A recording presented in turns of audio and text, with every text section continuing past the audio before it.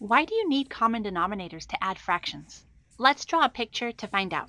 Remember, the denominator tells us how many pieces there are, and the numerator tells us how many pieces we have. For our first fraction, we have 2 out of the 3 pieces. I did a horrible job splitting this rectangle into 5 pieces, but you get the idea. Our numerator tells us that we have 3 out of these 5 pieces. Now it would be so nice to just add up and say we have one, two, three, four, five pieces shaded. There's our answer. But the problem here is that our pieces are not the same size. But what we can do is chop them up more. Let's take this rectangle that was broken into thirds and now also break it into fifths going horizontally. Let's take our second rectangle and also break it into thirds, this time going vertically.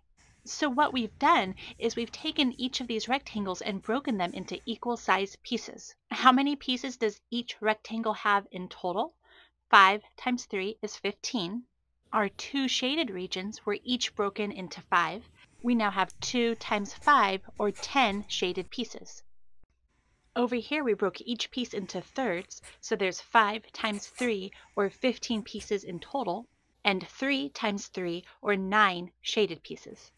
Now all of our shaded pieces are the same size, so we add them up and we have 19 shaded pieces out of 15 pieces in one rectangle. So if we put all of our pieces together, we would have one whole rectangle with four leftover pieces.